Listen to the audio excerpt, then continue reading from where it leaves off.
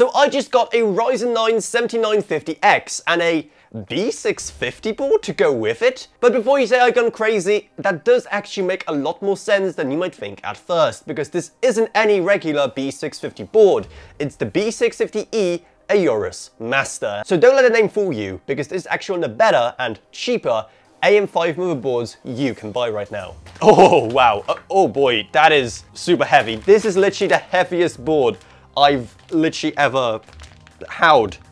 That is insane. How much does this thing weigh? I mean, with so much heatsink everywhere on it, I guess it does make sense. But anyway, let us just open it up.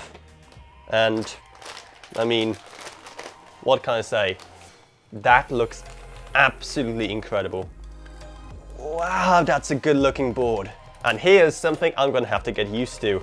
Because this is, of course, an AMD LGA socket. That is still so, so weird to say, but that's just the world we live in now. Now, I was just looking at this glorious PCIe Gen 5 16X slot, and I just noticed this.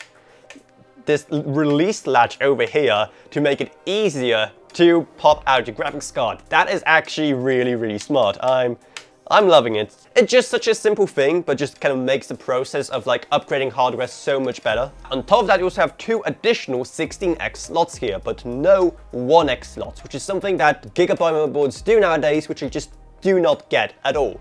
Yes, I know that 1X cards are compatible with 16X slots, but let's be honest, no one wants to do that. We can all agree that a 1X card looks better in a 1X slot. And while these also give you compatibility with the ever more popular 4X slots, I'd rather just have 1X and 4X slots instead. But whatever, I guess they had to find space for all this M.2 here because you have one M.2 slot here with this absolutely giant heatsink. Can you guys see? Just the size of that one heatsink for that one M.2? That is insane and then we have three additional ones here. And seeing how this motherboard does support PCIe Gen 5 on the M2s as well, I guess it makes sense that Gen 5 heatsink is so massive. Speaking of massive heatsinks, I mean, VRM cooling wise, they also went overboard because just look at that from the profile here.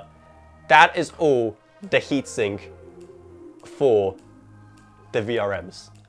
Look, just, that is absolutely insane. No wonder this motherboard weighs so much when literally everything is heat synced up. Now, I'm one of those weird people who actually likes having less stuff on the motherboard and I prefer to actually see a lot of the components underneath. So I might actually take off this uh, M.2 heat spreader over here just so there's a bit more, you know, of that nice circuitry underneath. But things are getting a bit too positive here. Let's go back to what I always love doing, complaining. Now the rear I.O., as you can imagine, is pretty fantastic. It's Gigabyte we're talking about, so you have so much USB Type A. In fact, you have a whopping 12 USB Type A ports, not to mention, finally, I'm gonna get integrated USB Type C, which I don't have on my motherboard.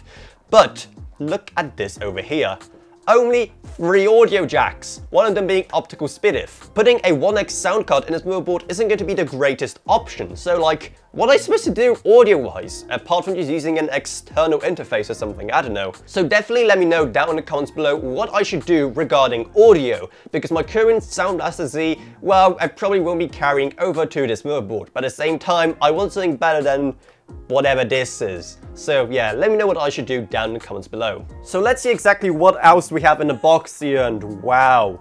Look at these stickers. Have I gone back in time to like 2012 when these things were cool? Danger, Aorus trespassing. Please do not disturb unponing noobs in Call of Duty. My Aorus passport which grants me entry to the Republic of Gamers. And okay, this one here is actually pretty cool. Uh, someone please translate what this symbol means because I have no idea. Okay, so uh, this is also probably part of the reason this motherboard weighs so much. Look at how massive the backplate is.